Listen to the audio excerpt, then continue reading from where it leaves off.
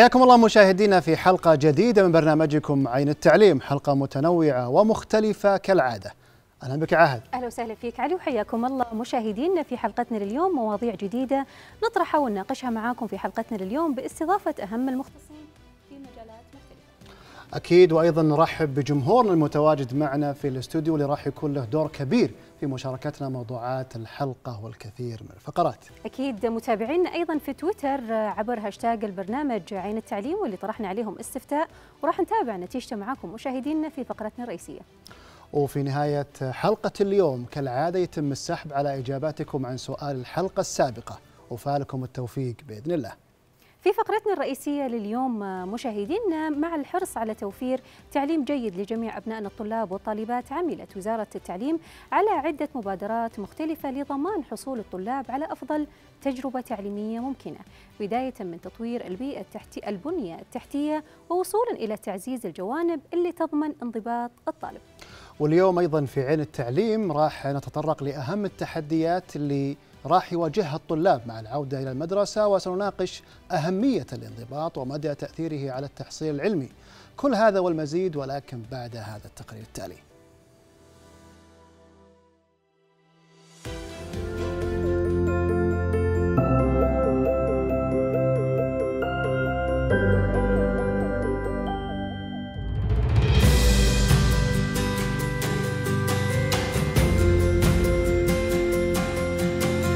كثيرا ما كنا ونحن نقرأ كشوف الدرجات في مراحل التعليم العام نجد في نهاية الورقة درجة المواظبة جنبا إلى جنب مع درجات المواد الدراسية وهو ما يؤكد ارتباط الانضباط الدراسي بالمستوى التعليمي للطالب.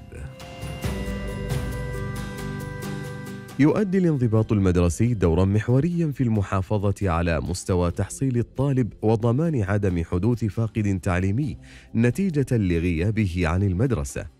كما ينعكس على ثقة الطالب بنفسه وتفوقه ونجاحه المستمرين. ومع عودة المدارس ينبغي الاستعداد والتهيؤ لبداية العام الدراسي الجديد بداية من التجهيزات المدرسية والاستعداد النفسي وعقد العزم على الانضباط الذي يعد مسؤولية مشتركة بين المدرسة والأسرة والمجتمع أفرادا ومؤسسات.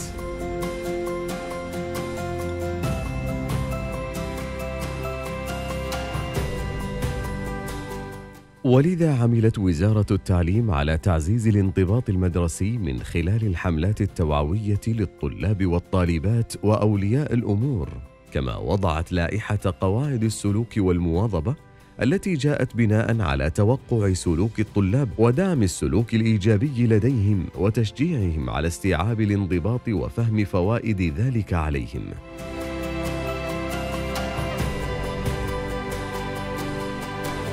ويؤكد المختصون والخبراء أن الدور الرئيسي لانضباط الطالب يقع على عاتق الأسرة نظرا لارتباطه بالعادات اليومية للطالب من حيث مواعيد النوم والاستيقاظ بالإضافة إلى الاستعداد المبكر لعودة العام الدراسي ومراقبة سلوكه بالشراكة مع المدرسة لتساهم بذلك في تحسين نتائج التعلم والوصول إلى بيئة تعليمية إيجابية وتنشئة مواطنين مسؤولين يضمنون مستقبلا مشرقا للوطن.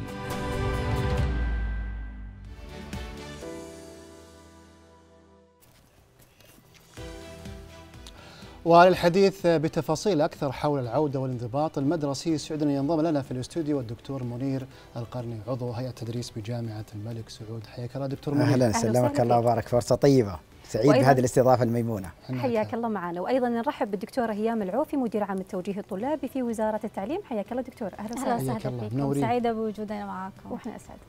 طيب أبدأ معك دكتور منير آه، بالانضباط يعني. إذا كنا دائما ما نتحدث عن الانضباط المدرسي وش نقصد في الانضباط المدرسي؟ جميل. دعوني يعني أخذ منحى آخر. أنا عندنا مبادرة اسمها صناع الأثر وملهم الوطن. دائما ما أكرر لطلابي في الجامعة ولعل بعض الطلاب والطالبات موجودين في الجامعة كلمة استثنائي وملهم. أقصدها هم يتوقعونها لزمة ولكن أقصدها ليكونوا استثنائيين وملهمين. اليوم بحاول نكون إن شاء الله استثنائيين وملهمين في الطرح. لن نعرف الانضباط. نعرف ضده لنصل له. فبضدها تتميز حلو. الأشياء. أنا متخيل بل أكاد أكون متيقن إن الكثيرين لا يعرفون ما ضد الانضباط. فما تتوقعون كلمة ضد الانضباط؟ مفردة ما ضد الانضباط. ما هي؟ صعب انها إنها تأتي لأن أنا بحثها فتوقعت إن الجميع لا يعرفون. اسمها في اللغة العربية الفلتان. اللي نسمع عنها ونتوقع أنها عامي الفلتان. فانظر لما تيجي تقول ترضى تكون بخيل؟ قال لا. اذا أبغى أكون كريم. ترضى تكون كاذب؟ لا أبغى أكون صادق. اذا ترضى تكون منفلت وعندك فلتان؟ قال لا أبغى أكون منضبط. فالانضباط هو الالتزام التام ومواصلة العمل باستمرار في في المهام لتحقيق الإنجاز المأمول. جميل. الالتزام والانضباط. العجيب في الأمر أن هناك بينهم تداخل وترابط بعضهم بعضهم يفرقون. ما الفرق بين الالتزام والانضباط؟ أيضا هذه معلومة جديدة نتمنى أن نلهم من خلالها الآخرين.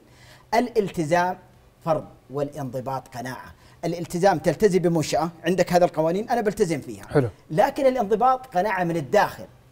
توجهني هذا العمل. أيضا نعم أيضا الالتزام يكون وقتي في الحاضر. أنا بلتزم بهذا لكن ما أعرف ما هي نتائجه المستقبلية. أما الانضباط أنا لماذا أنضبط؟ مؤكد أن عندي شعور لمستقبل واعي سيأخذ الانضباط. فالانضباط هو التزام بمهام جميل. توصلني إلى العمل.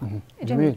جميل. يعطيك العافية. مقدمة رائعة دكتوره دكتور منير. خليني أسألك دكتورة هيام لما نتكلم عن الانضباط في العملية التعليمية هل مثلا ممكن يكون مرتبط أو مشابه للانضباط بشكل عام في الحياة العامة؟ يعني ما نقدر إحنا نفصل عن ال- الانضباط في العملية التعليمية عن الانضباط الذاتي. خلينا نقول زي ما تفضل الدكتور هو يعني شيء داخلي هو من أساس الإنسان. الانضباط قيمة جوهرية الانضباط قيمة أساسية من القيم اللي المفروض تكون عند عند الإنسان. آه القيمة هذه قيمة الانضباط مرتبطة بقيم كثيرة بسلسلة من القيم الالتزام الصدق الأمانة حس المسؤولية العالي وهلم جرة كلها مرتبطة. مرت... ال- الانضباط مرتبط بسلوك اللي هو سلوك الالتزام. الانضباط كقيمة دائما يرتبط بأنظمة وقوانين. قد تكون أنظمة وقوانين مفروضة يعني كل من كل منشأة كل مجتمع كل دولة كل منظمة عندها أنظمتها وقوانينها اللي الناس يعني المنتمين لها يلتزموا بهذه الأنظمة والقوانين فكل انضباط مرتبط بنظام وقانون لابد أنه يكون فيه بس في نظام داخلي أو في قوانين داخلية عند الإنسان، في قوانين تكون عند الأسرة، في قوانين تكون عند حتى جماعة الرفاق. صحيح هي ليست قوانين تشريعات. إن صح التعبير ولكنها قوانين تضبط سلوك الإنسان وتوجهه. فهنا الانضباط هو التزامك بالقيم اللي انت اللي حتوجه سلوكك. ما أقدر أفصلهم فصل تام. يعني إذا أنت إنسان مثلا خلينا نشوفها من منظور الأسرة، اليوم الأسرة آه، تعزز هذه القيمة في أبنائها آه، من الأساسيات عندها. يعني زي ما هي مثلا آه، توفر لهم المأكل الملبس المشرب إلى آخره كأساسيات. أيضا تعزيز القيم وغرسها في في حلو. في نفوس الأبناء من الأساسيات. يعني كل أسرة عندها يعني نظام. خليني أقول والله أم حديثة عندها طفل عمره سنة. حتقولي إيش عندها نظام؟ لا هي عندها نظام، هي عندها مواعيد متى تاكله،. متى تشربه، متى. تلبسه، متى متى ينام، متى إلى آخره. لو اختلف نظامه حيتأثر هو حيكون مو سعيد حيبكي لو إنها خرجت وسهرت بيه حيجننها ما حتكون مرتاحة حيبكي وبهدلها لين يرجع لنظامه فكل يعني في أنظمة هي مسنونة تشريعات وفي أنظمة أنت تضعها لنفسك كإنسان وتلتزم بها جميل آه، يعني, نقدر إذا- نقول إنه الانضباط في الحياة العامة راح يوصلنا أكيد للانضباط المدرسي. أكيد. هي قيمة أساسية يبدأ ال- تبدأ تغرس عند الإنسان منذ نعومة أظافره والأسرة هي المسؤولة عن بنائها. تيجي المدرسة تكمل هذا الدور وتدعم وتعزز هذه القيمة. اليوم الأسرة لما تح... لما يكون مثلا الطفل بدأ يأكل مهم عنده أنه يأكل بنظام مهم. ونظافة ما يوسخ المكان اللي حواليه معين. هذا السلوك التزام بنظام الأسرة ممكن يتعمم على طول ويروح مع الطفل في المدرسة. يتعود إذا على تعزز النظام. ويتعود على النظام. فهي سلسلة من جميل. سلسلة من ال- الممارسات إن صح التعبير. الوالدية اللي تعزز بعدين عند انتقال الطفل للمدرسة اللي تعزز بممارسات تربوية في في في قاعات الدراسة. جميل. دكتور منير إذا قلنا يعني هناك انضباط أو أعلم الطفل الانضباط مثلا سواء كان في البيت أو كان في المدرسة هل هناك انعكاس على سلوك وشخصية الطفل في المستقبل؟ يا سلام. من هم نحن. ترى نحن يقولون أطفال كبار. اللي تعلمناه في الصغر هو الذي قاعد نطبقه الآن. مم. وينشأ ناشئ الفتيان فينا على ما كان عوده أبوه. إحنا دائما نبحث عن بر أبنائنا.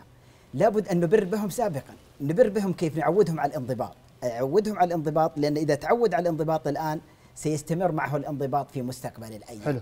هذا يعني مبدأ مبدأ كبير جدا وهذا كثير من الناس أحيانا يغيبون عنهم. لا مشي الآن خليه عادي. لا ما تقول عادي لأنه صعب إذا كبر وأشتد عوده أن تعيده للوراء. فالنقش على الصغر كالنقش على الحجر التعليم في الصغر. صحيح. فهذا من ال- الأمور المهمة. أذكر موقف لطيف جدا لي زميل أيام المتوسطة. تواصلنا وكان عنده سبحان الله عادة عجيبة كذا. وتفارقنا سنوات من عمر الزمن. في كورونا الناس فاضيين. وقلت خليني أحاول أوصل له بطريقة أو بأخرى. فوصلت له. يعني ما بقول لكم كم عام عشان لا تحسبون العمر لكنها عشرات من السنوات. العمر كله إن شاء الله. بارك الله فيك. لما تواصلت معه والله تستغرب. وأنا قلت للاسره وقلت لزملائي مم. أثناء حديثه اكتشفت أن العادة ما زالت معه هي هي اللي قبل عشرات السنوات. فنقول لو كان أستطاع أن يعدلها في ذاك الوقت لتعدلت معه. اذا بلا شك ما نربيه فيهم اليوم سنحصده. غدا جميل. لكن ممكن ياثر على شخصية الطفل في المستقبل نعم أكيد بلا يعني. لما نضع في المدرسة أنظمة وقوانين ما هو الهدف منها اولا محافظة على سلامة الطفل مم. وأمانه النفسي واستقراره يعني أنت تخيل لو أنت رايح مكان ما في نظام مثلا ما أنت عارف متى تبدأ الحصة متى تنتهي. متى يدخل معلم متى يطلع متى تسلم واجباتك متى تتكلم مع أصدقائك متى تتفسح متى تنصرف إذا. ما عندك كل هذا النظام اللي يضبط الع- العمل في في المدرسة أنت حتروح المدرسة وأنت متشتت وخايف صحيح فالنظام اللي في المدرسة أو الأنظمة التي توضع في المدارس كلها لتضمن سلامة الطفل النفسية والتربوية والاجتماعية و- جميل. وعلاقاته مع زملاء وعلاقاته مع معلمين وإلى آخره فكل ما كان في نظام وإحنا التزمنا به معناته إحنا ماشيين يعني يعني هذا هو الهدف من وجود أنظمة في المدارس. جميل. اليوم لو طلعت من باب بيتك وانت ماشي في الشارع في عندك شيء اسمه نظام المرور. صحيح. انت لازم تلتزم به. فانت هذا هذا نوع من أنواع الانضباط. ليش؟ لأنه تحفظ سلامتك وسلامة. الآخرين. الآخرين كذلك. فهي هي نفس السلسلة يعني. فانت ليش تضع نظام في المدرسة؟ عشان تضمن انه الطفل يحصل على بيئة تعليمية آمنة تمكنه من إنه هو أصلا يعزز من مهاراته ومعارفه وقيمه في المستقبل. جميل. فأكيد يعني جميل. شيء أساسي. خلينا نتكلم دكتورة هيام عن الانضباط عند الطفل من ناحية تأثيره وانعكاسه على تحصيله العلمي والدراسي شلون ممكن يؤثر بشكل أكبر أو بشكل أفضل انضباط الطفل أنه يكون تحصيله أفضل وبشكل يعني يكون أجود في العملية التعليمية؟ يعني مرة ثانية نقول يعني كل ما كان الشخص منضبط كل ما أثر على سلوكياته. اليوم لما إحنا نبغى نعرف الانضباط في آه، بالنسبة بما يتعلق بالطالب إيش السلوكيات اللي إحنا نتوقعها منه عشان نقول والله هو زي ما تفضلتي منجز ناجح آه، حصل على درجات عالية. يعني يمكن آه، كلنا نحلم أول ما ما يصير عندنا بيبي ولا شيء نحلم والله أبغى طبيب أبغى مهندس أبغى ما أعرف. يعني كل أب وطموحاته وكل ام وطموحاتها بس ننسى إنه هذا الطفل كمان له هو شخصيته وهويته. ف- فضروري جدا إن إحنا نهتم بهذه النقطة. وبعد كذا نبدأ نفكر كيف لما هو يدخل المدرسة آه، كيف نبني هذا كيف نبني هذا الإنسان؟ كيف نساعده على إنه هو ينمي مهاراته؟ أنا ما يهمني فقط في النهاية هو إيش الدرجة اللي هو حصل عليها أنا يهمني إيش المعارف والمهارات اللي اكتسبها وكيف هو حيقدر يوظفها. فحلو أنا أبغى طفل صح ناجح أبغى طفل منجز بس مو حهتم بالدرجة وأنسى الأساسيات. أنا. مهتمة بثلاث أشياء رئيسية في بناء هذه الشخصية وهذا الإنسان اللي حيكون مواطن صالح مستقبل منافس عالميا. اليوم رؤية آه، 2030 آه، رؤية سمو ولي العهد وتنمية القدرات البشرية هدفهم مواطن منافس عالميا. طيب هل أنا ح- حاعتمد على الدرجة فقط ويهمني إني أحصل على الدرجة ولا يهمني إنه ابني يحصل على القيم والمهارات والمعارف اللي تمكنه إنه هو يكون إنسان آه، مواطن منافس عالميا. أنا محتاجة هذه الأشياء تخيلي معايا طفل أو طالب آه، أنا أقول الطالب مسؤولية ولي الأمر اليوم في حضوره وانضباطه في المدرسة وبالتالي إنجازه تخيلي معايا طالب مثلا آه، يحضر للمدرسة آه، ثلاثة أيام في الأسبوع ويومين ما يحضر أو يوم ما يحضر. إيش اللي حيفقده في, في اليوم هذا؟ حيفقد جزء من المهارات والمعارف والقيم اللي حصلوا عليها زملاء هو ما حصل عليها. صحيح. حيجي لو حصل لو تكرر هذا السلوك عنده حيجي بعد فترة حيلاقي إنه منظومة المعارف والمهارات والقيم اللي تم التخطيط لها مسبقا عشان يكتسبها الطالب في هذه المرحلة العمرية صار فيها فجوات. صح. مم. مين حيردم هذه الفجوات؟ صحيح.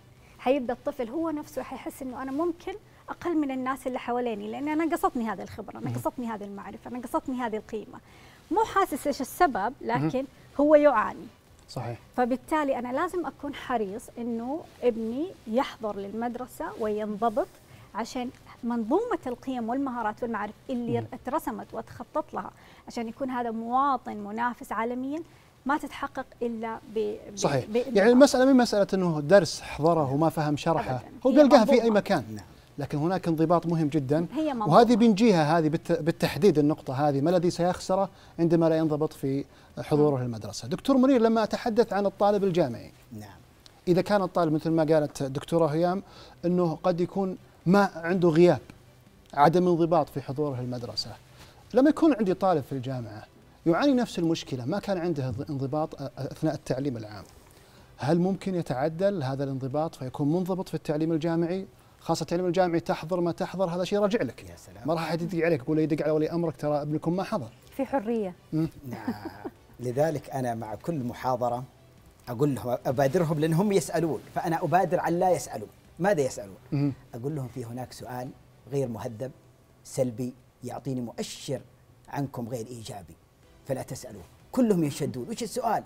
مع أنهم يسالوه لكن أنا عشان أقول لهم لا يسالوه هل الحضور والغياب عليه درجات ولا لا؟ قلت أنا أبغى الإجابة منكم لماذا هذا السؤال غير مهذب؟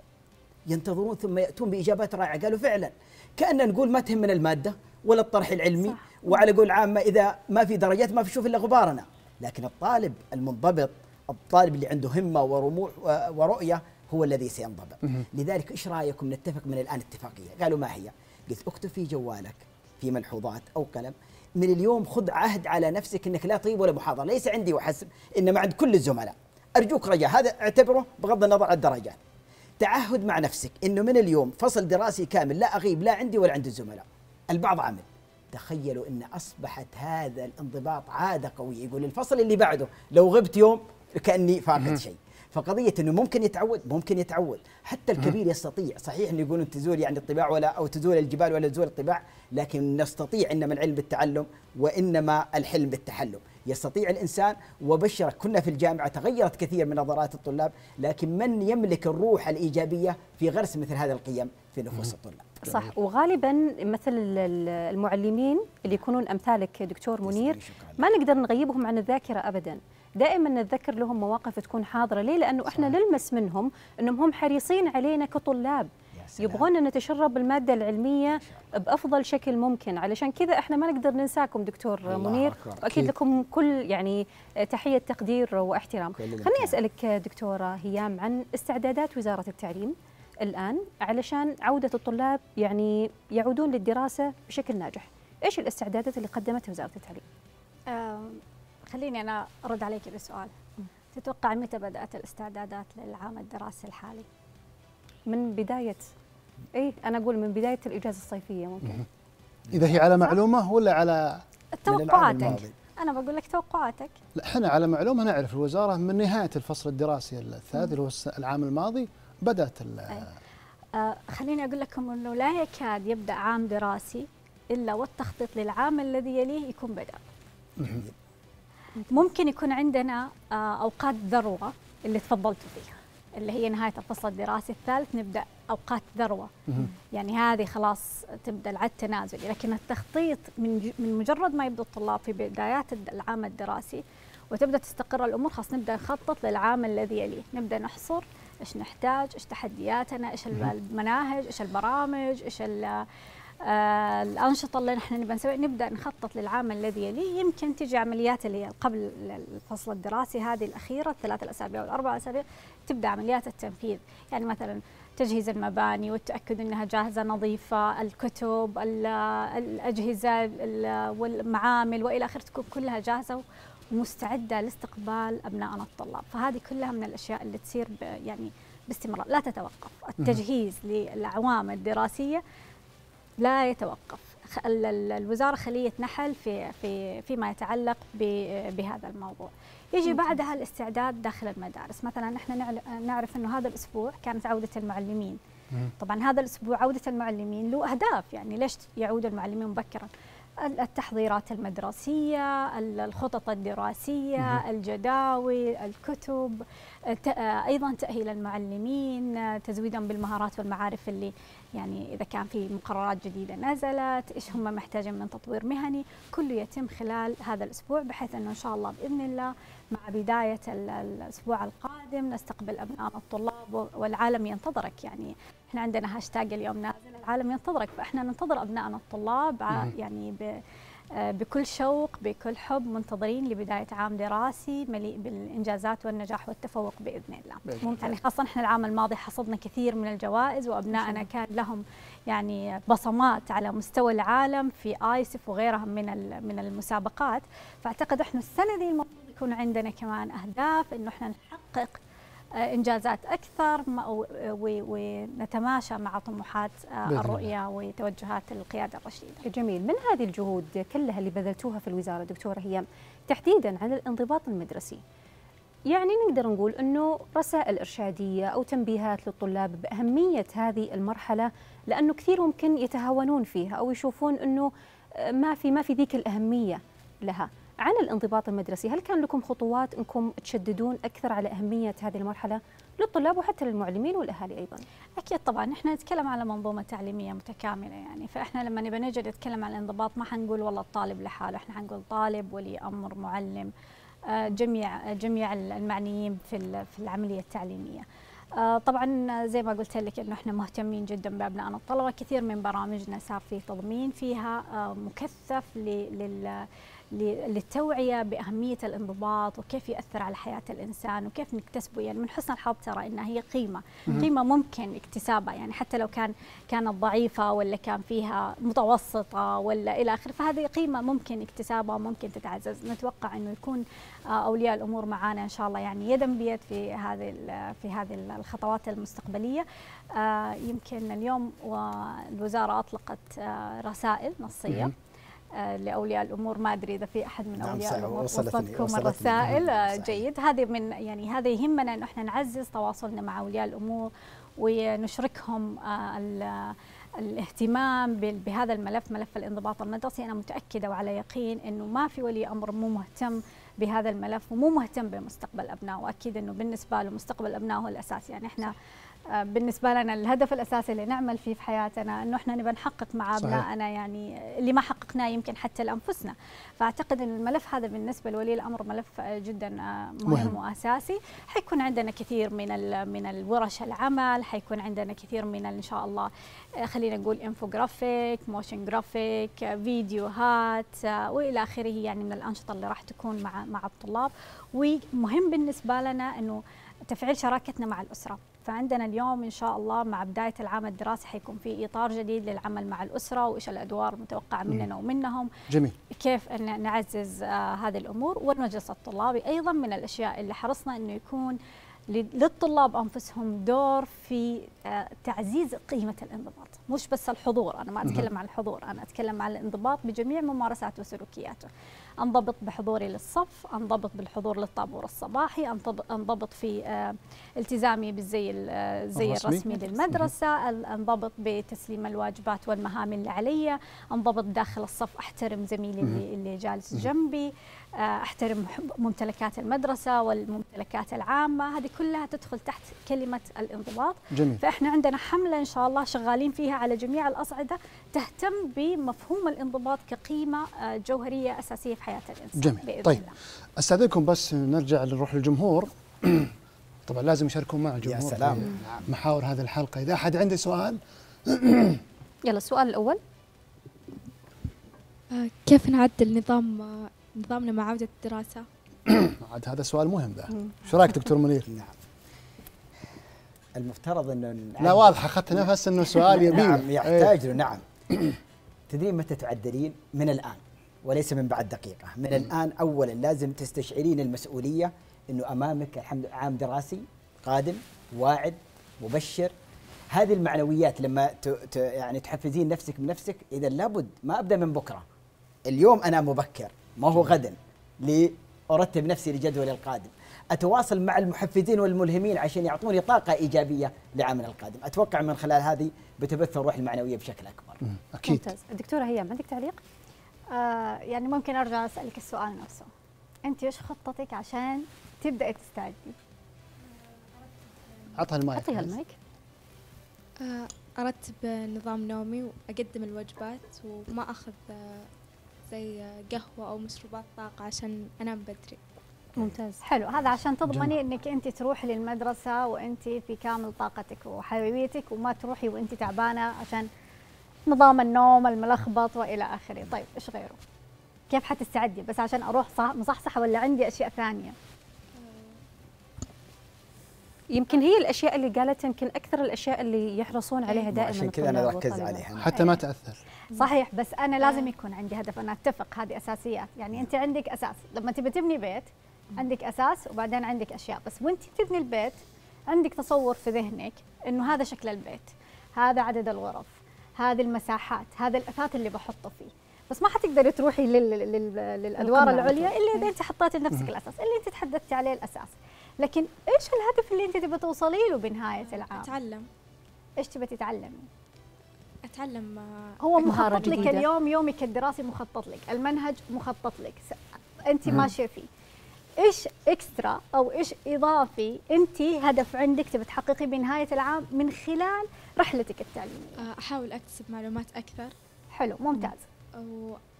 وأزيد المعلومات بحيث أنها حتى بالمستقبل تفيدني. جميل. خلينا ناخذ الكلام اللي انت قلتيه حطي لنفسك هدف. أنا بنهاية العام إن شاء الله أبى أحقق أبى أزيد معلوماتي مثلا حددي في في ال- المجال اللي انت تبغيه. مثلا خلينا نقول في الذكاء الاصطناعي على سبيل المثال. أنا بطور نفسي في الذكاء الاصطناعي. طيب إيش الخطوات اللي أنا حسويها؟ إيش حسوي في الفصل الأول؟ ممكن أقرأ. إيش حسوي في الفصل الثاني؟ ممكن أروح دورات. إيش حسوي في الفصل الثالث؟ أنا ممكن يكون. عندي مشروع اللي أشتغل عليه. فأنت حطي لك هدف كبير أساسي. ما شاء الله. breakdown يعني جزئي أعطيتينا خطة يا دكتور. أيوه. فهذه الخطه أنا ما أقدر أقول لكل إنسان إيش خطته. كل إنسان عنده تصور صحيح. لنفسه ومستقبله.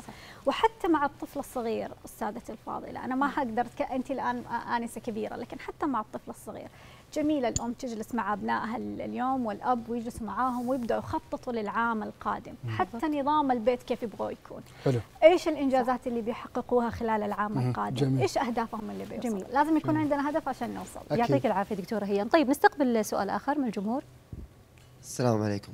سؤالي هو كيف الانضباط ينظم حياتي بشكل عام؟ تفضل دكتور منير طيب. تدري متى تعلم هذا؟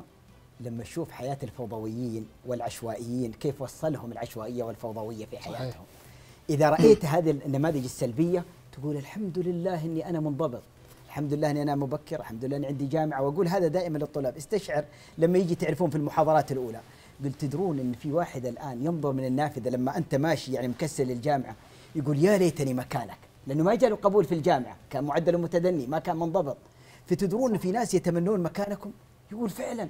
استشعر مثل هذا فأهم وأولى وأنبل ما يعزز فيه قيمة الانضباط لما ترى الناس اللي فشلوا في دراستهم فشلوا في مشاريعهم الدراسية فشلوا في حياتهم بسبب العشوائية والفوضوية تقول لازم أنضبط لئلا أكون فاشلا وأكون في رأس الهرم في القمة طيب بس دكتور منير يعني في تحديات دائما تكون للشخص صحيح. لما يكون منضبط وش أهم التحديات هذه برأيك؟ جميل أهم التحديات في الوقت الراهن هي وسائل التواصل حقيقة الاجتماعي مم. التقنيات الحديثة هذه أخذت منا بقدر ما أعطتنا مم. أخذت من وقتنا من جهدنا صحيح. من أفكارنا من قيمنا أمور كثيرة أول شيء لازم تكون حازم مع نفسك في تقنين مثل هذا الأمر مم. بقدر ما تقننه بقدر ما تعطي مساحة أخرى لحياتك الواقعية حلو. الحياة الافتراضية أخذت منها شيء كبير الأمر الآخر وجود ملهمين وداعمين أنا أقول دائما لابد يكون معك من يحفزك إلى الأمام مثل هذا اللقاء الجميل المحفز اللقاءات المحفزة الأخرى النماذج المحفزة دور الوالدين. أيضا الصداقات. ابحث عن صداقات داعمة. الصداقة الداعمة ما تقول لك ها وش رايك نغيب بكرة؟ هذا هذا نعم هذا خلاص.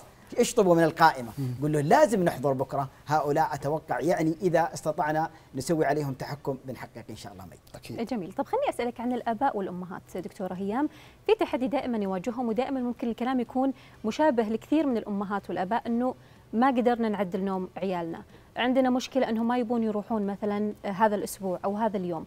شلون ممكن يتعاملون مع هذه التحديات ويخفضونها شوي؟ شوفي هي تراكمات وممارسات والديه في التربية.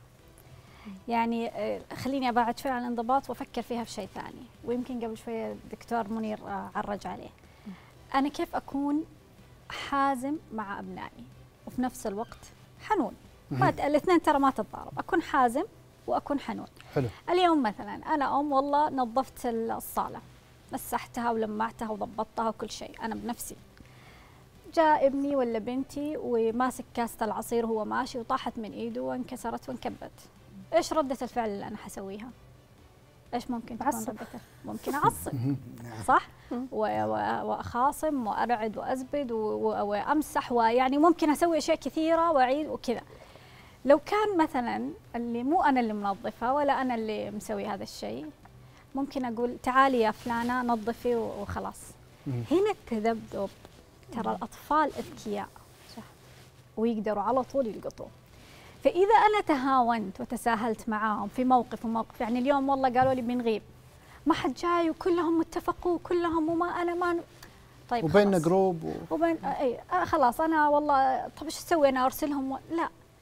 أروح معاهم. أنا كنت أروح مع بناتي أوديهم المدرسة. أنا وبناتي في المدرسة لوحدنا ما يهمني أول يوم ما يهمني. متأخرين مو متأخرين ما يهمني.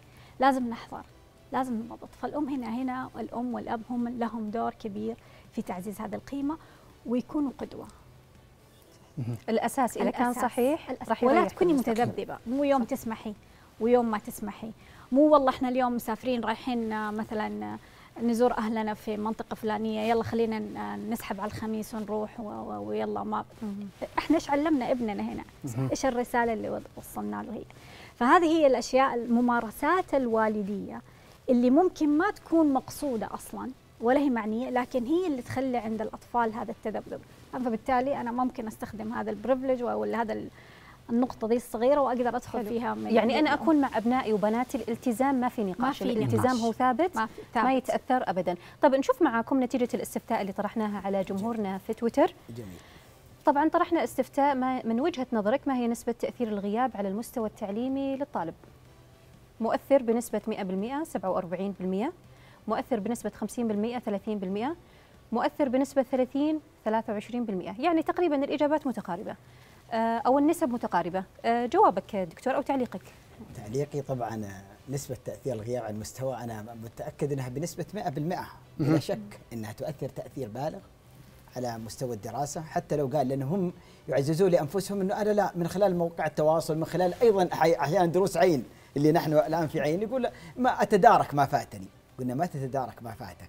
أنت ما تدارك ما فاتك القيمة. قيمة الحضور الصباحي هذه قيمة قيمة لوحدها معنوية. كان العام الماضي عندي بعض المواد العامة يعني عن بعد. هذه المرة كلمت إدارة الجامعة وقلت تكفون لازم تكون عن قرب. قالوا طيب كان أفضل لك. قلت لا قيمة أني أقوم في الصباح وأتهيأ للمكان هذه القيمة ما تقدر بمال فأيضا ذهاب الطالب لقاؤه مع المرشد الطلابي وإعطاء نصيحة لقاؤه مع المعلم وإعطائه توجيه مثل هذه القيم. فما بالك المعلومات وما بالك رصيد المعارف. طيب دكتورة هيام الحين تتوقعين النسبة يعني إذا كنا نتكلم عن كورونا كان في عن بعد. فهل وجود التعليم عن بعد هو اللي جعل النسبة هذه ترتفع؟ إنه بعض الناس يرى إنه آه، ال 53% يرون إنه لا مو هو بذاك القوة التأثير اللي لازم أحضر. طيب آه سؤال صراحة صعب. ما له إجابة واحدة محددة لأنه العوامل كثير. إيه. آه لكن خلينا نقول آه الحضور زي ما تفضل الدكتور في مش فقط عملية تعليمية. مم. في عملية إنسانية بتدور حلو. في بناء شخصية في بناء إنسان في بناء علاقات في بناء آه تصور عن مستقبلك. إحنا اليوم ولله الحمد عندنا سهولة الوصول للتعليم. سهولة الوصول للتعليم. ما في أسرة اليوم ابنها جالس في البيت. ولا في أسرة اليوم تعاني بفضل الله إنها تلاقي مكان لابنها إنه هو يتعلم. فإحنا عندنا سهولة الوصول فلازم يكون عندنا امتنان لهذه النعمة. بفضل الله ثم التوجهات حكومتنا الرشيدة. طبعا كلنا نعرف أنه 60% من من الشعب السعودي شباب تحت صحيح. سن الثلاثين يعني أغلبهم على مقاعد الدراسة ما بين تعليم عام وتعليم جامعي. فالوطن وطن وطن فتي وطن شاب فإحنا مستقبل الوطن هذا كله بين أيادي الشباب. فلا يمكن انه إحنا نشوف انه إنه عدم الانضباط هذا سواء على مستوى الحضور أو على مستوى ال- الالتزام بالالتزامات اللي على الطالب إنه ما يأثر. لا أكيد راح يأثر وحيأثر المستقبل. اليوم نظرتنا إحنا حاضرنا اليوم سلوكنا اليوم هو مؤشر على مستقبلنا غدا. حاضرنا اليوم وسلوكنا اليوم في الانضباط هو مؤشر لمستقبلنا غدا. صحيح. فإذا إحنا شفنا مؤشرنا في انضباط سلوك أبنائنا سواء في المدارس أو حتى خارج المدارس والتزامهم بمسؤوليتهم أمام الوطن وأهمية تحقيق آه، توجهات الوطن أكيد حنكون يعني في عندنا استشراف للمستقبل إنه بإذن الله راح نكون في مصاف. الدول المتقدمة باذن الله. خليني أسألك دكتور منير علشان الوقت. الآن لما نتكلم عن دور الأسرة وأولياء الأمور يزرعون الانضباط عند أبنائهم وبناتهم والطلاب والطالبات أيضا. شلون يتكامل هذا الدور بين الأسرة وبين المدرسة؟ وبين المدرسة. هذا غاية في الأهمية ما طرحتي من سؤال. والآن أحيانا الحقيقة في إشكالية بين تواصل المدرسة مع أولياء الأمور والعكس صحيح. أما أن المدرسة ما تقوم أحيانا بدورها في إيصال كل الرسائل اللي تتعلق بالطالب سواء رسائل إيجابية أو سلبية. طيب الطالب عنده تميز المفترض أسرته يعرفون هذا التميز ويشيدون به. فما يذكر له هذا التميز. أو عنده إشكالات أيضا سلبية تتراكم ثم ما ينادونه إلا في آخر الطرف وهذا مشكلة أحيانا من المدرسة.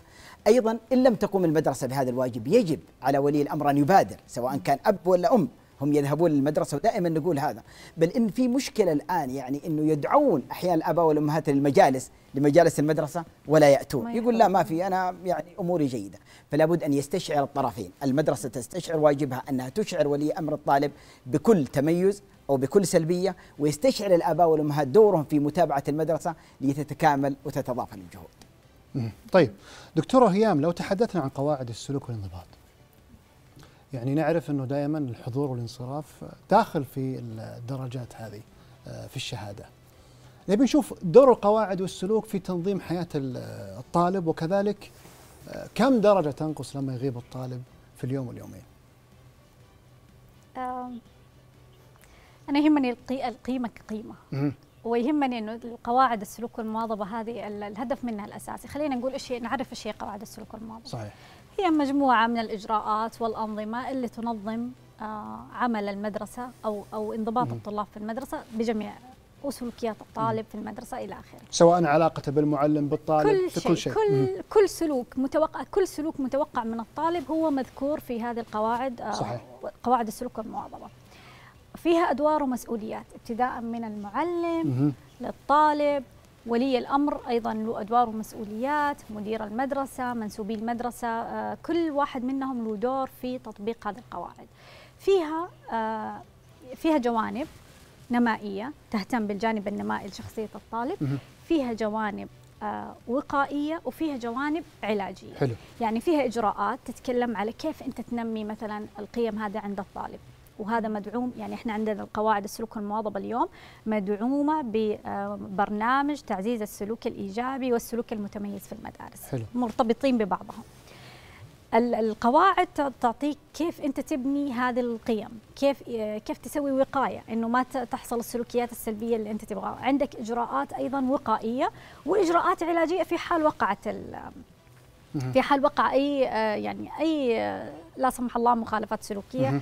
وإيش ما كانت هذه المخالفات السلوكية. فهذه كلها تضمن للطالب إنه هو يكون في بيئة آمنة. ما المفروض إني أنا أتعامل معاها على رقم. أرجع أقول لك ترى أنا من. أول إي أنا ما أنا ما يهمني الرقم أنا قد ما يهمني القيمة نفسها. زي ما تهمني درجة الطالب في المادة بالمقام الأول قد ما يهمني إيش الفائدة والمعرفة والمهارة اللي اكتسبها الطالب. فأنا يهمني إنه حتى لو بدأ يعني أنا ما أتخيل طالب أو حتى إنسان كامل الكمال لوجه الله. يعني كلنا نخطئ وربنا معطينا. نستغفر صح ولا لا؟ نفس الشيء قواعد السلوك والمواظبة. ترى لو أخطأت ترى مي نهايه العالم؟ ترى عندك أنت فرصة إنك أنت تعوض وتحسن.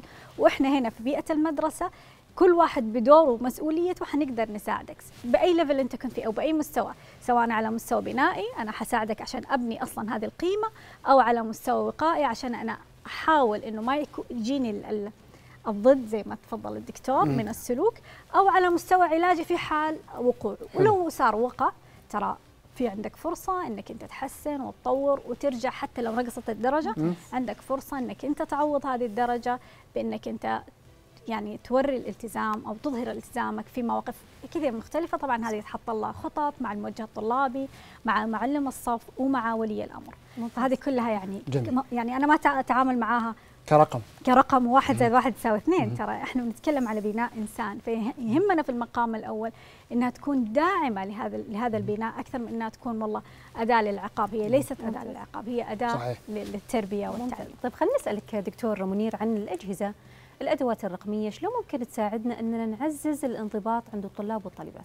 ممتاز. نعم. هذا الاستخدام الإيجابي. إحنا نقول الاستخدام الإيجابي. إحنا نتحدث عن الاستخدام السلبي ولا بد أن تقنن. بلا شك إن هذه مهمة جدا. أول دور إنه لابد أن يعون الآباء والأمهات هذا الدور الريادي لوسائل التواصل الاجتماعي ويحملون لهم برامج قد تفيدهم. لأنه الآن لما نعطي الطفل الطفل لا يعني يفرق أحيانا بين بالعكس أحيانا غير الهادف هو الذي يجذب هذا الطفل. فلا بد أني أنا أعي كأب وأم انه يحمل لهم البرامج البرامج الهادفة اللي تجذبهم اللي تعزز فيهم القيم اللي تعزز فيهم المبادئ.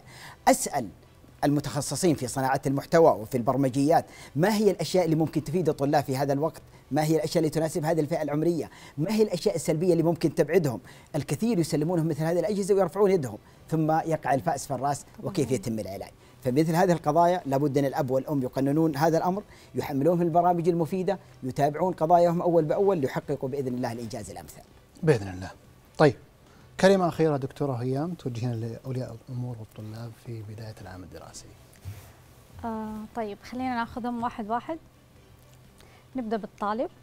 آه أول شيء إحنا ال ال زي الهاشتاج تبعنا العالم ينتظرك. إحنا منتظرين أبنائنا الطلاب يعني بكل بكل شوق آه بإذن الله.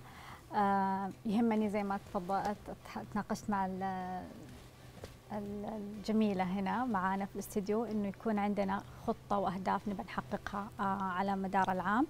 أعتقد إنه هنا دور أولياء الأمور جدا مهم. اليوم إحنا عندنا اليوم إحنا الثلاثاء عندنا أربعاء خميس وجمعة وسبت. لسه عندنا أربع أيام. نقدر نجلس ونتناقش مع أبنائنا ونبدأ نحط خطة ونبدأ نشوف كل واحد فيهم وش بيخطط كيف حت كيف حنحقق هذه الخطة على مدار العام. ومهم جدا إنه هذه الخطط تنتقل معانا إلى المدرسة. حلو مع بداية العام الدراسي حيكون في عندنا من الأشياء اللي إحنا مهتمين بها بداية العام هذا بإذن الله إنه حيكون في عندنا مجالس أولياء الأمور. طبعا هي دائما تعقد لكن السنة هذه إحنا يعني حريصين إنه إحنا نكون كلنا على نفس المستوى أو على نفس الصفحة إن صح التعبير. فعندنا مجلس أولياء أمور حيكون يتناول محاور أساسية وثابتة.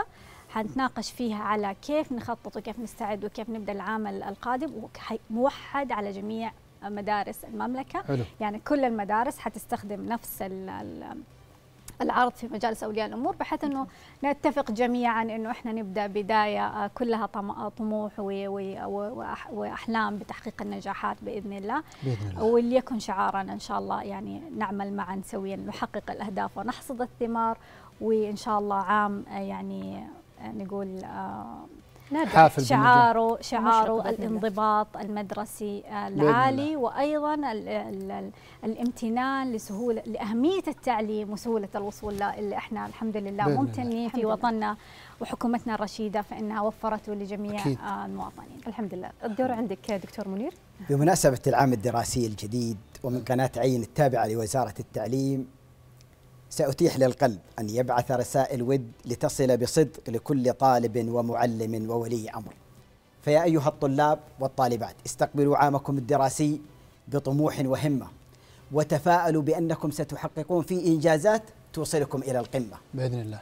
خذوا نفسا عميق وتخيلوا في نهايته نجاحكم المشرف. ثم عودوا للواقع وابدأوا مسيرتكم من أول يوم من أيام العام للوصول إلى أروع وأجمل ختام.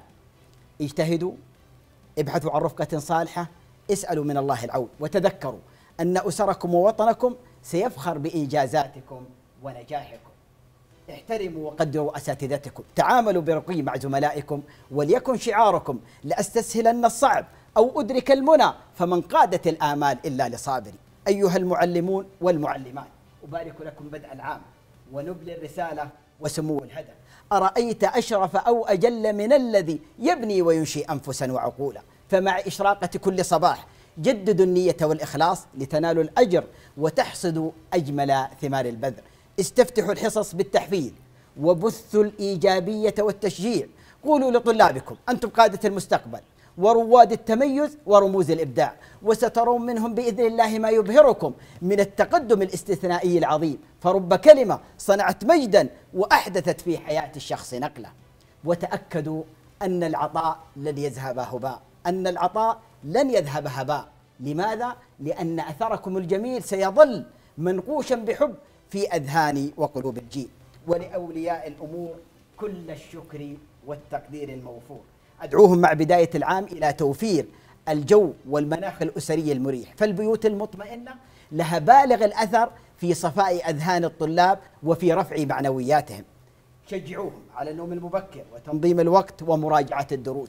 اعقدوا معهم جلسات أسرية للسؤال عن أحوالهم في المدارس والجامعات. كافئوهم على الإنجاز وامنحوهم الخبرة وخبرتكم الجميلة في التعامل الأمثل مع التحديات والصعاب. أضيفوا لأسمائهم صفات جميلة محفزة فلان المبدع وفلانة الموهوبة وهذا الابن ملهم وأخته طموحة. فمثل هذه النعوت الجميلة سيكون لها بالغ الأثر في تحقيق الحماس وإشعال الحماس في نفوسهم وتحقيق التميز المنشود الذي يأخذهم بإذن الله نحو المجد والصدارة. اليوم سنبدأ جميعا عامل الدراسي بهمة. سنصل بإذن الله إلى القمة لنفرح جميعا ونحن من أعلاها ونقول ها نحن بحمد الله. قد وصلناها.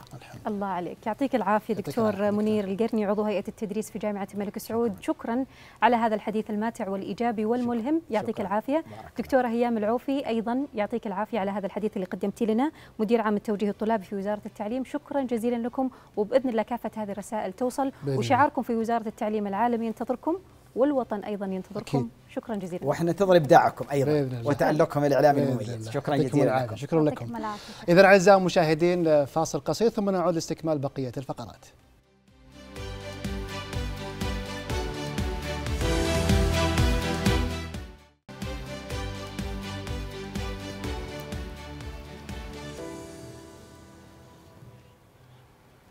حياكم الله من جديد مشاهدينا في عين التعليم. والآن وصلنا معاكم لجولة العدسة.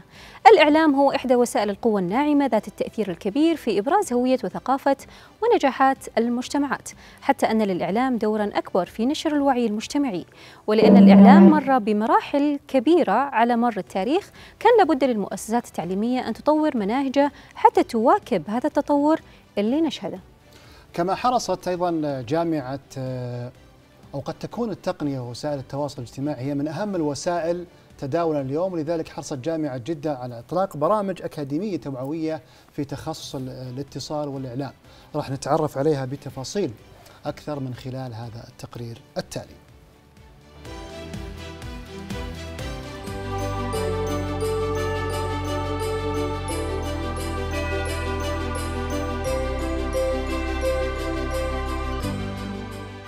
الإعلام هو أحد أنواع القوى الناعمة التي تؤثر بشكل كبير في المجتمعات من خلال صناعة الرأي العام وتشكيله، ومع التطور التقني الذي نشهده حرصت رؤية 2030 على أن يشمل التحول الرقمي مجال الإعلام، وأن يكون إحدى ركائزها الأساسية لتحقيق الرؤية.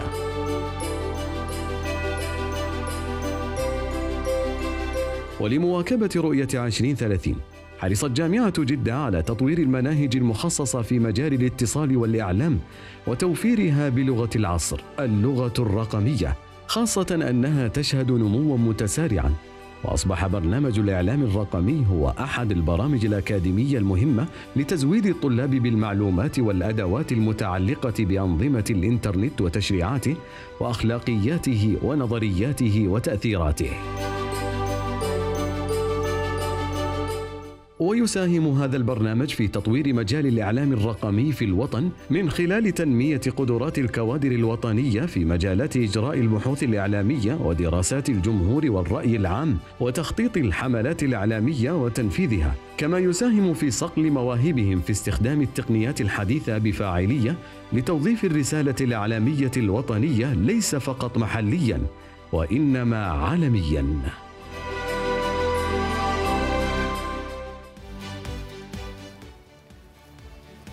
طيب الحديث أكثر عن البرنامج انضم لنا عبر الهاتف الدكتور وسيم الصحفي أستاذ الإعلام الرقمي المساعد بجامعة جدة، دكتور وسيم أهلا بك معنا في عين التعليم. حياك الله دكتور. أهلا أهلا وسهلا أستاذ علي أستاذ علي أستاذ عهود أنا سعيد آه. بهذه الاستضافة والخروج معكم حياك الله منورنا دكتور وسيم خلينا نتكلم بداية عن هدف الجامعة من إطلاق هذا البرنامج بكالوريوس الإعلام الرقمي طيب آه هدف جامعة جدة من إطلاق برنامج بكالوريوس الإعلام الرقمي آه ينطلق حقيقة من رؤية ورسالة الجامعة.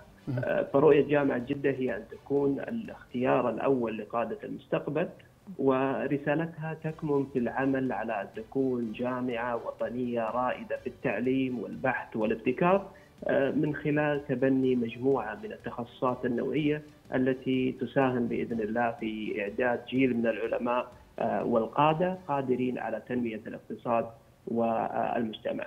آه، اليوم أستاذ علي وأستاذ عهود على على مستوى الكليات في جامعة جدة.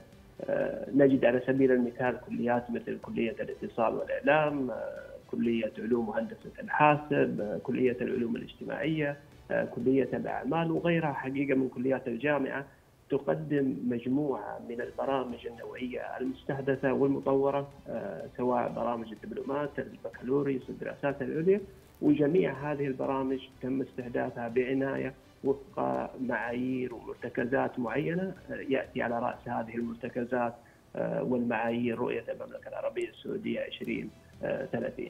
جميل، دكتور يوسيم لو نتحدث عن المهارات اللي ممكن يكتسبها الطالب لما نضيف مثل هذه البرامج، نتحدث عن الإعلام الرقمي، وش ممكن يضيف جميل. كمهارات للطلاب؟ طبعا تتفاوت المهارات والمخرجات اللي يكتسبها الطلاب بعد تخرجهم باختلاف البرامج المتنوعة التي تقدمها كليات الاتصال آه، والإعلام وكذلك وفقا أيضا لنوعية المناهج والمقررات اللي تتبناها آه، كليات الاتصال والإعلام. آه، إذا كان الحديث مثلا على برنامج الإعلام الرقمي فأهم المخرجات في في هذا البرنامج هو التصميم الجرافيكي، إنتاج الوسائط الرقمية التفاعلية، آه، أيضا عندنا تصميم الرسوم المتحركة آه، صناعة المحتوى الرقمي آه، إدارة منصات التواصل الاجتماعي. هذه أبرز المخرجات التي يعني يرتكز عليها البرنامج عندنا في في كلية الاتصال والإعلام بجامعة جدة. ممتاز، طيب نتكلم معك عن جانب آخر دكتور وسيم، أهمية توظيف التقنية. في المجال الإعلامي، شلون خدمتنا التقنية في المجال الإعلامي؟ جميل، توظيف التقنية الحديثة في في مجالات الإعلام حقيقة يحمل أهمية كبيرة خاصة في عصرنا الحالي عصر الثورة آه، التكنولوجية والصناعية. وتوظيف هذه التقنية يساهم في تحقيق عدد من الأمور آه، منها على سبيل المثال للحصر اللي هو الوصول والتواصل العالمي. آه، اليوم توظيف التقنية الحديثة في الإعلام يساهم في الوصول وكذلك التفاعل مع جمهور عالمي آه، بشكل آه، فوري ومباشر. وجود التقنية الحديثة اليوم مكن كثير من الأفراد وكذلك المؤسسات في نشر المحتوى والأخبار وكذلك المعلومات.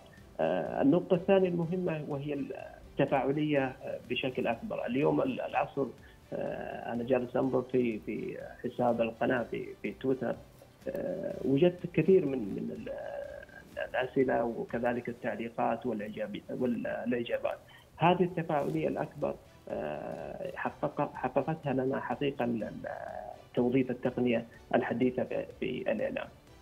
أيضا عندنا من الأمور المهمة والتي اضافتها لنا التقنية اللي هي سرعة النشر والتحديث وكذلك تنوع الوسائط اليوم عندنا استخدام النصوص الصور الفيديوهات الصوت وكذلك الرسوم المتحركة.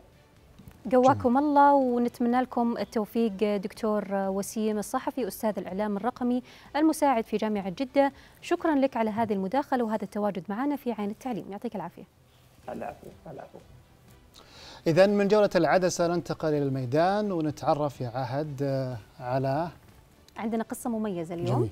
مشاهدينا رح نتكلم عن الطالبة فرح المزيني واللي قدرت بطموحها وشغفها أن تحصد على جائزة آه، حمدان لفئة الطالب المتميز على مستوى الخليج.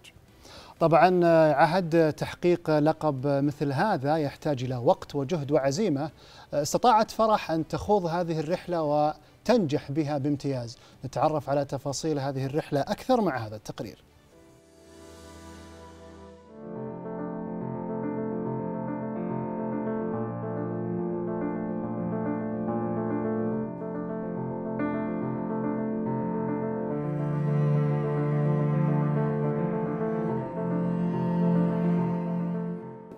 باللجنة الاستشارية للطفولة وحققت عديد من الإنجازات السابقة بالأول ثانوي والثاني ثانوي. آه، أصبحت طالبة موهبة بأول ثانوي. حققت جائزة حمدان على مستوى الخليج. أول شيء أنا بديت أحضر الجائزة بعد جائحة كورونا. كلمتني مشرفة المدارس أستاذة لما عن جائزة حمدان ولقيت فيها تحدي وقلت ليش لا؟ والحمد لله بعد توفيق الله قدرت إني أفوز فيها. آه، جلست أحضر لجائزة حمدان لمدة سنة ونص تقريبا. من بداية أولى ثانوي 2021 حتى 2022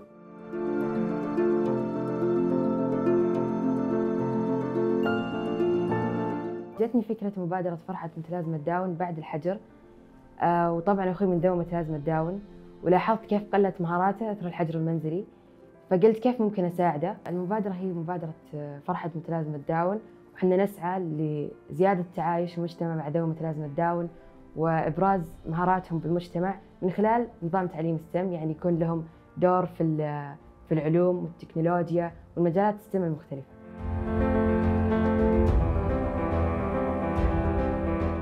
كان للمدرسة دور كبير في توجيهي بجائزة حمدان.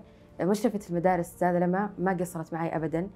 كانت معي حتى في العطلات الصيفية وفي المسابقات وحتى حضور المؤتمرات. حابة أشكر أهلي ساعدوني بشكل كبير. أمي وأبوي كان لهم التأثير الأكبر في تحقيق هذه النجاحات.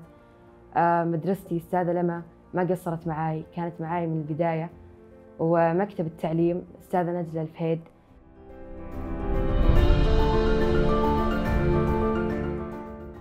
لدينا قائد ملهم سمو سيدي ولي العهد برؤيته الطموحة. وحنا بدورنا كشباب لازم نسعى عشان نحقق هذه الرؤية. وأنصح كل الطلاب والطالبات اللي بعمري بالمحاولة والتجربة لأن الخسارة ما هي فشل. بالعكس بتزيد من إصرارهم وتعلمهم من أخطائهم. الطالبة فرح عبد الله صالح المزيني من المملكة العربية السعودية.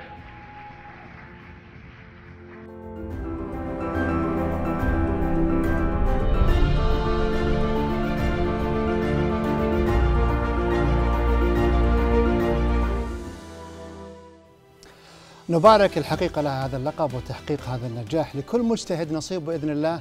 نشوف فرح آه، في المراتب العليا مستقبلا. بإذن الله. إحنا تعودنا على هذه الجهود المجتمعية علي من مؤسسات صحيح. أو من جهات ذات علاقة هي اللي تقدم هذه الجهود. لكن لما نشوف أبنائنا الطلاب والطالبات بعمر صغير يقدمون هذه المبادرات المجتمعية لذوي الإعاقة أو متلازمة داون خلينا بدون يعني أي ذرة شك نطمئن على صحيح. مستقبل السعودية إن إحنا بإذن الله قادرين نتخطى أي صعوبة. دام إن عندنا هذا هذه الثروة الوطنية من المواطنين والمواطنات نقدر بإذن الله إننا نصل لأعلى المستويات بإذن الله وإحنا وصلناها أصلا في الحاضر وبإذن الله إحنا واصلين القمه وبناخذ القمه شوي إن شاء الله. إن شاء الله بإذن الله. طيب أعزائي المشاهدين فاصل قصير بعده نعود لاستكمال بقية فقرات هذه الحلقة.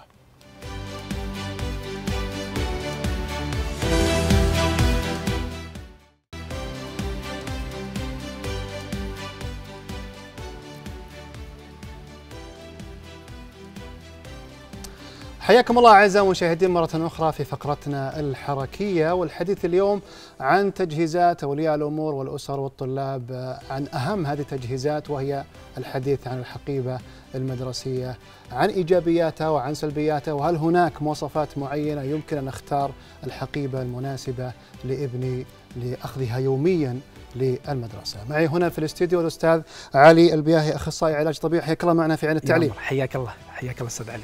آه ودي أتحدث عن أنت أخذت نموذجين من الشناط الآن موجودة عندي على الهواء أه نبي نتحدث عن سلبيات الحقيبة المدرسية بالنسبة للطالب، هل هناك إشكاليات مو نتحدث عن سلبيات أتكلم عن إشكاليات ممكن تحدث من اختيار بعض الحقائب للطلاب على حسب المرحلة العمرية؟ آه، أول شيء يمس عليك وللساده المشاهدين وهو أتمنى التوفيق لإخواني الطلاب والطالبات في هذا العام الدراسي. طبعا في أنواع مختلفة من الحقائب م. لكن هي تختلف على طريقة أو ارتياح للطالب لاختياره لأحد الحقائب إيه؟ آه كلها سليمة وكلها مم. صحية لكن طريقة الاستخدام هي اللي قد تؤثر, تؤثر على الطالب مم. جميل يعني نوع الحقيبة وطريقة استخدامها هو اللي يؤثر نعم نوع الحقيبة هو اللي يختار الطالب يعني في بعض الطلاب يختارون الحقيبة السحب إيه؟ أو الحمال على الكتف إيه؟ هو كلها سليمه لكن الطريقة الصحيحه في استخدامها فقط هي اللي بتحدد هل هي تسبب لنا إشكاليات أو لا. يعني نقول الشنطة لو كانت ثقيلة ممكن تؤثر؟ نعم تسبب آثار كثيرة جدا على الظهر سواء على الظهر أو على الأكتاف أو على الرقبة لكن في الطريقة الصحيحة في حمل الحقيبة وكيف أنا آخذها وكيف أختارها هي اللي بتأثر علي حتى في المستقبل؟ حتى في المستقبل. وهذا مم. جدا لأن الطفل يتغير عنده نمو العضلات والعظام فهذا قد يؤثر عليه بشكل كبير جدا مم. جدا في هذه. خاصة في مراحل النمو لما يكون صغير. بالضبط. طيب هل هناك مواصفات معينة لاختيار الحقيبة؟ في بعض المواصفات ودي لو نشوفها مع السادة المشاهدين المواصفات اللي أنا أنصح فيها الطلاب اللي يستخدمونها طبعا لابد أن تكون حاملة للكتفين فهذه بتساعدنا جدا لحماية الظهر. حلو. هذا رقم واحد. رقم اثنين أنها تكون مناسبة لحجم وزن الطفل أها لأن ما أخذ حقيبة كبيرة وزن الطفل أو صغير حجمه يعني صغير في اولى ابتدائي هذه مناسبة له لكن لو مناسب. أخذت لوحده كبيرة مهم. قد تأثر على الظهر. وتسبب لها مشاكل في السنوات القادمة. آه، أخيرا نحتاج أن تكون فيها جيوب الثنتين الطريقة هذه مهم. لتوزيع الحمل على الحقيبة كاملة بعض حلو. مطاره الموية قد أو وجبة الإفطار حلو فلا بد أن تكون متوزعة على الحقيبة المدرسية أخيرا إني أعرف أستخدمها بالطريقة الصحيحة. حلو. إني كيف أحملها كيف أنزلها من في الأرض أو أرفعها. لابد ان في طرق إن نستخدمها عشان نتفادى آلام أسفل الظهر. يعني أول شيء نقول للطالب أو نقول للأسرة أول شيء اختيار اللي لها ت- تنشال مع ك- الظهر. نعم. هذا أنا أنصح فيه. ولا تكون جهة واحدة؟ نعم. لو حملتها على جهة واحدة بتسبب لك آلام في الكتف. لايام قادمه بعض الأحيان نواضحها نشوف في إيه. آلام في الكتف. هذه سببها قد يعود للحقيبة المدرسية طيب اللي معك هذه حقة السحب وش ميزتها؟ هل نعتبرها إيجابية نعتبرها إيجابية إذا استخدمناها بالطريقة الصحيحة اللي هي آه بعض الأحيان بعض الأطفال يستخدمونها بالطريقة السلبية اللي هي ينزلها بالطريقة هذه ويسحبها إيه. فهنا يسبب لي ميلان للظهر حلو للسنوات القادمة لكن لو استخدمتها بالطريقة الصحيحة ورفعت على مستوى الكتف مم. وقدرت أمشي فيها بالطريقة الصحيحة مهم. هنا إن شاء الله نتفادى ألام الكتف وألام أسفل الظهر. جميل طيب هل هناك آه، أساليب معينة مثل ما قلتها قبل شوي في طريقة تنزيل الحقيبة ورفعها ووضعها على الطاولة. إيه، أنت أنت قبل شوي قلت لي أنا أحملها بالطريقة هذه. صحيح. طيب أبغى أنزلها. تنزلها لا تنزلها وأنت ثاني ظهرك. هنا. قد تسبب لك حمل على منطقة الظهر لكن لما أثني ركبتي بالطريقة الصحيحة بقدر أنزلها وأنا مرتاح. ولا- يعني ما يكون نزولي بالشكل هذا. بالطريقة نزولي صح. بالشكل هذا. بس بثني الركبتين. أها حلو. وليس ثني الظهر. أها. هنا بتتفادى أشياء كثيرة وبرضه بتحافظ على الركبه. في الثني الركبة. لكن لو ثنيت ظهرك بتأثر على الركبة وعلى أسفل الظهر. طيب وش رأيك؟ أيهم أفضل؟ هذه ولا ذي؟ كنصيحه مني أنا؟ إيه. استخدم هذه. ليش؟ هذه سحب. هذه سحب لكن برضه الطالب لما يجي يحمل على الدرج فبيكون في حمل. تكون أثقل. تكون أثقل. آه. لكن لما هذه بتكون حاملة على الكتفين محافظة على العضلات الظهر وعلى فقرات أنت تعرف الاسره أهم شيء الماركة والاسم وكذا فهذه إشكالية. بتسبب لنا مشاكل كبيرة جدا. لكن لازم أهتم في قضية الوزن وأنها تنحمل مع الجهتين ما تنحمل مع جهة. وضروري جدا. أنا آخذ الشنطة المناسبة بالحجم المناسب. حلو. هذه أهم نقطة للسنوات الظاهر. غالبا يكون فيها كل شنطة وكم العمر المناسب لها ولا؟ آه، ما في شيء محدد لكن إيه. يمكن يكون الطفل داخل في السنة الأولى وحجمه إيه كبير فأنا أعرف أختار هذا الشيء طيب ممتاز طيب أبيك كلمة أخيرة توجهها للأسر في اختيار الحقائب المناسبة لأبنائهم آه، أول حاجة أنا أتمنى أنهم يختارون الشنطة المناسبة زي ما اتفقنا إيه؟ إنه يكون مناسب لحجم الطفل الطفل حلو. هذا رقم واحد رقم اثنين أنا لازم أتابع طفلي في طريقة حملة للكت... للشنطة. أعلمه على الطريقة على المناسبه الطريقة الصحيحة. وضروري جدا. ضروري وإن نشوفه في مجتمعنا كثير. حملها على كتف واحد. واحدة. في المستقبل قد يأثر على كتف فهذه ضرورية نتابعهم بشكل يومي أو مستمر. أخيرا آه في بعض الأطفال جميع الكتب يأخذونها معهم للمكتبة آه، للمدرسة. إيه. فهذا شيء غلط. إن عندنا جدول حصص يومي إيه. أتمنى أنهم يحضرون فقط الأشياء اللي يحتاجونها الكتب اللي حقت اليوم. بالضبط. لأنه بعضهم يأخذونها كلها فيتسبب له ضغط على الظهر. أو يشيل أحمال ثانية معها. بالضبط. فعندي أنا أشياء عنده فطور مع زملاء يا. سلام عليك. فهذه بتأثر عليه بشكل كبير جدا. طيب جميل. طيب الآن أنت من خلال العلاج الطبيعي هل تجيك حالات فعلا كانوا يعانون من حمل الحقائب بشكل خاطئ؟ آه، أنا ما شفت بصراحة لكن الأخوان الأخصائيين شافوا كثير تأثير الحقيبة. مم. وعادة نشوفها في الألام الكتف. لما ناخذ الهستري مع مع الأهل مع الأب أو الأم فنشوف يكون سبب من الأسباب الألام اللي توصل تصير للطفل من الحقيبة المدرسيه اذا الأستاذ علي البياهي أخصائي علاج طبيعي شكرا لوجودك معنا في عين التعليم. شرفتني الله يسعدك. عنا أكثر. اذا أعزائي المشاهدين فاصل قصير بعدها نعود لاستكمال بقية فقراتنا لحلقة هذا اليوم.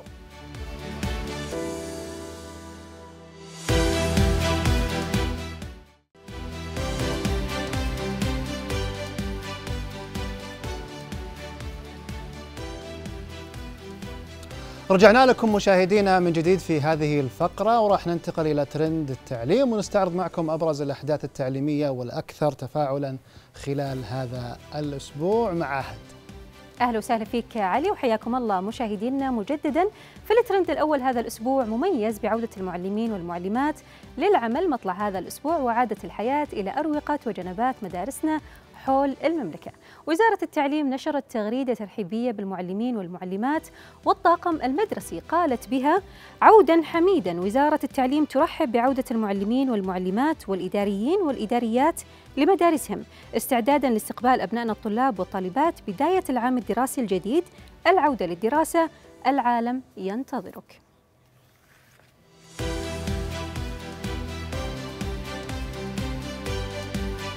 هنيئا لدروب يمرون بها وهنيئا لعمل يقومون به وهنيئا لنا بهم. نقول لهم عودا حميدا لميادين العلم والتعليم. إلى الترند الثاني حيث حققت جامعة نجران أو حلقت جامعة نجران في سماء الإبداع من خلال تسجيل براءة اختراع دولية من مكتب براءات الاختراعات في الولايات المتحدة الأمريكية. الاختراع هو عبارة عن طريقة حديثة ومبتكرة للتحفيز الضوئي باستخدام مركب ثلاثي فعال يساهم بمعالجة ملوثات البيئة.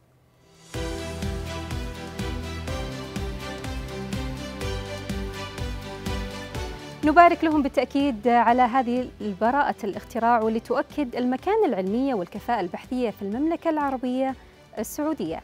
وإلى الترند الثالث والأخير لأن الهواية نقطة الانطلاقة نحو الاحتراف والتميز.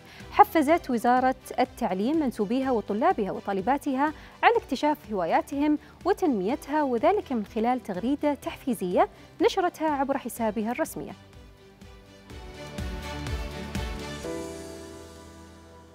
نتابع مشاهدينا معكم هذا المقطع. ما يدخل جلست مع مجموعة سوالفهم زينة وانت ساكت نعرف وش بتقول. أول ما جلس على الكرسي انقلب. أنا أعرف واحد. أعطيك معلومة. ترى كلهم يعرفون واحد. ليش ما تصير أنت هذا الواحد؟ كيف البداية؟ تطيح لك بهواية. تطلع مع ناس أول مرة تشوفهم. تستأنسون على بعض. تروحون تلعبون بادل. تقابل فريق ثاني. تكتشف إنه مو جوك. تحول شطرنج. تلعبون لعبة تنتين ثلاث تهزم واحد يطلع بطل العالم. وش أخصنها معك حلو. دقيقة دقيقة. كاراتيه؟ أوكي. جهات سليمة. ما حبيت؟ اطلع منها. جرب الرسم. اندمجت مع الموسيقى؟ خذ لك دروس عزف. لعبت في السلامة الموسيقية؟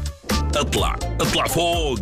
وصلت؟ يلا انزل. ارجع لاخوياك وحكيهم. باختصار لا تصير الواحد اللي يعرف واحد. صير الواحد اللي كلهم يعرفونه. عندك هواية؟ عندك سالفة. اكتشف هوايتك مع هاوي. الهواية تفرد وميزة ضروري نلقاها ونسلط عليها الضوء. وإلى هنا مشاهدينا نكون انتهينا من جولتنا في ترند التعليم. ننتقل إلى فقرة وش تعرف عن معالي. تفضل. يعطيك العافية عهد. الله يعافيك.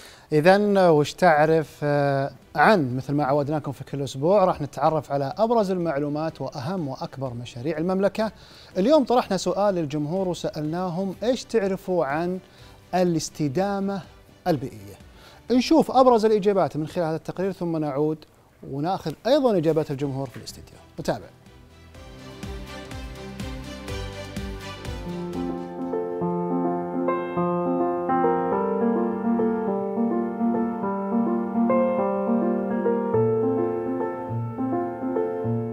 الاستدامة تعني أننا نتمتع بالمخزون البيئي لنا وكذلك يكفي للأجيال القادمة.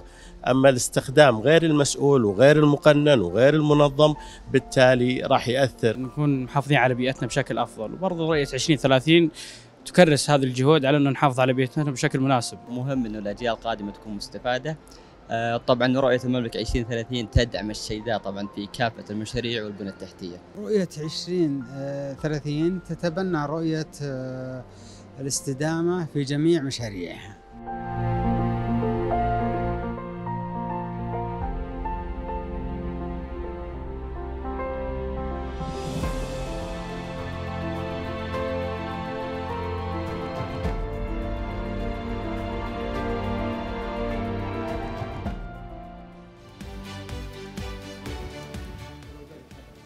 مشاهدينا بعد ما تابعنا هذه الإجابات من شارع عن مشروع الاستدامة البيئية نشوف إجابات جمهورنا في الاستوديو عن مشروع الاستدامة البيئية. أول مشاركة؟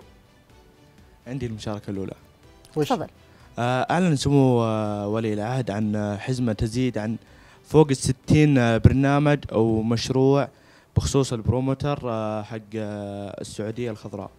جميل. هذا اللي استفدت عنه بخصوص الموضوع اليوم. ممتاز. شكرا لك. إجابة أخرى؟ السلام عليكم. آه أن مشاريع مشاريع رؤية 2030 جميعها تحافظ على الرؤ على البيئة؟ جودة الحياة. البيئة إيه. وهذا اللي ممتاز.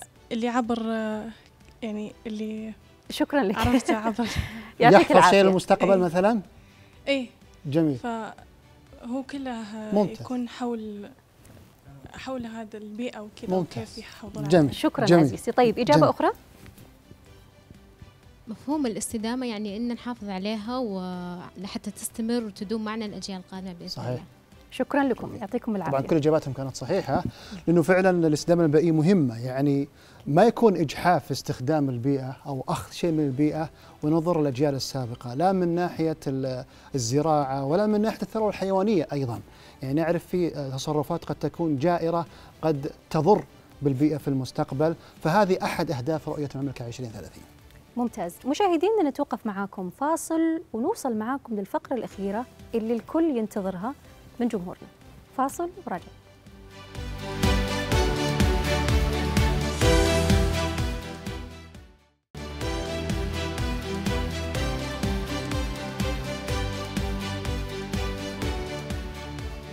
مشاهدينا إلى هنا نكون وصلنا إلى الجزء الأخير في حلقتنا لهذا اليوم وهو السحب على سؤال الحلقة الماضية. أنا أتحمس للفقرة هذه كأني أنا مشاركة مع الجمهور. مغششه انت؟ نشوف طبعا وش كان السؤال نذكر المشاهدين بسؤالنا اللي كان ما هو النطاق العمري لمرحلة الطفولة المبكرة الإجابة الصحيحة من ثلاث إلى ثمان سنوات طيب نشوف الفائز بسم الله السحب